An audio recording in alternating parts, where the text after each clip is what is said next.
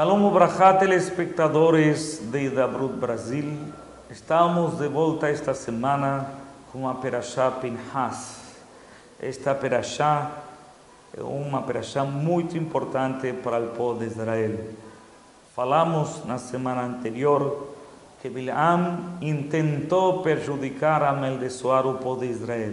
No final, não consegue Bilam e ele diz, em vez de amaldiçoar, ele abençoa o povo de Israel dizendo: Matovu ohalecha Yaakov mishkenotecha Israel. Que lindas são tuas tendas, que lindas são tuas moradas. O povo de Israel, e diz Rashi, que se inspirou Bilam, ele viu a família do povo de Israel, ele viu a força que tem o povo de Israel, na qual cada tenda e tenda estava totalmente resguardada do olho humano, quer dizer que as pessoas não podiam se ver de tenda a tenda, de casa em casa, e aí enalteceu o povo de Israel. Mas nossos sábios falaram que também ele viu a coragem que tem o povo de Israel para ultrapassar as diferenças do dia a dia. Abençoa a família, que linda que é a família de Israel. Nós, o povo de Israel, tem o abolengo, tem seus avós, seus patriarcas e matriarcas.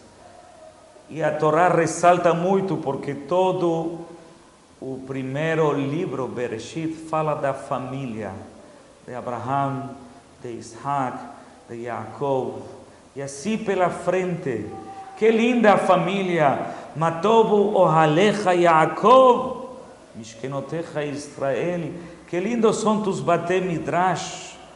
Que lindos onde vocês rezam. Que lindos onde vocês moram. Como o povo de Israel tem valores. Hoje, que o mundo perde sua privacidade.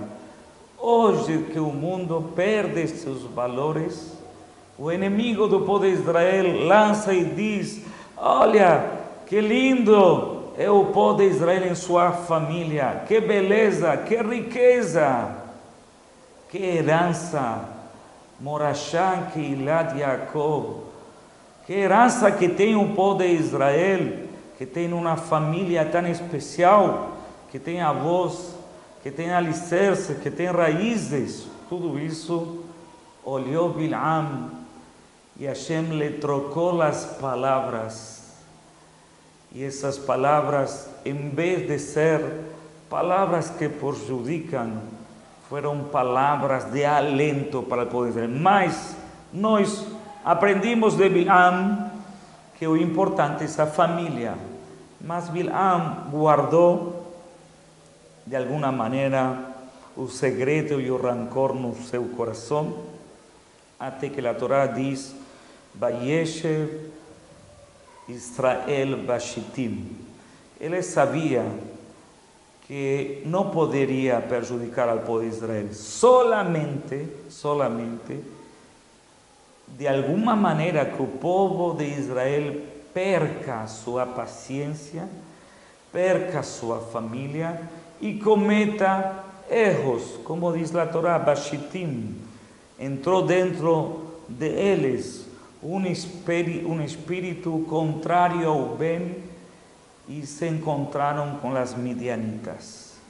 Estas midianitas, não pensem que o povo de Israel foi diretamente para elas, como aqueles que estavam naquela geração se iam assimilar com as midianitas, não ia acontecer, mas eles caíram em algumas armadilhas que a Torá traz, até que aparece Pinhas. Pinhas ben Elazar ben Aharon Cohen, este homem que fez a paz que trouxe paz, que trouxe esperança novamente para o povo de Israel, de um ato corajoso, que ele falou: Isto não pode acontecer dentro do nosso povo, nós temos que parar. E a Torá diz, Bateatzar Magifá. E eu quero trazer para vocês uma informação muito bonita para preservar a família do povo de Israel.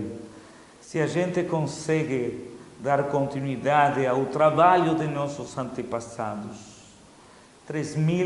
3.300 anos que recebemos a Torá, 2.000 anos de galut, de diáspora, e nossos antepassados passaram dificuldades como Shoah, como pogroms, como inquisições e como outras situações que tivemos, e eles nunca abandonaram e nunca deixaram apagar a chama judaica dentro do povo de Israel.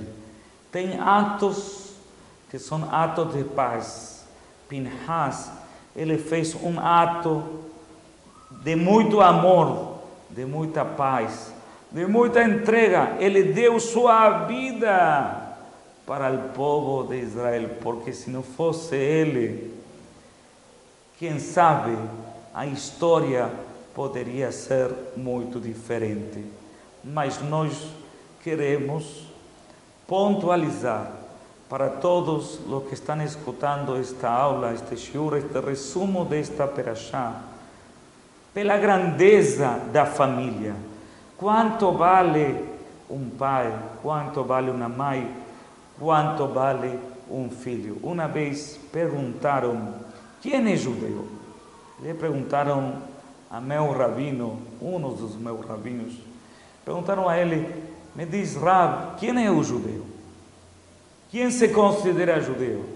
E Rab respondeu: judeu é aquele que consegue trazer outro filho da mesma identidade que ele. Se ele dá continuidade ao seu caminho, ele passou a torcha da vitória da esperança. Bezrat Hashem, que nós possamos de alguma maneira nos espelhar em el shalom verdadeiro, em la paz.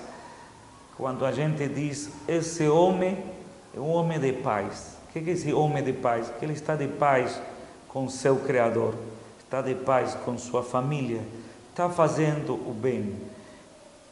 E Hashem abençoou a Pinhas, Menatati et beriti shalom.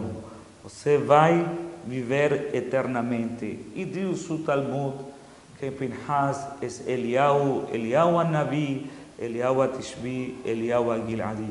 Eliau, Pinhas, Eliau, não experimentou a morte, subiu ao Shamaim andando, sem necessidade que tirem a alma dele. Bezat Hashem executou ele e que se vai encargar a anunciar a época messiânica para o povo de Israel, que seja em nossa brevidade, vimerá, be ameno. Amém.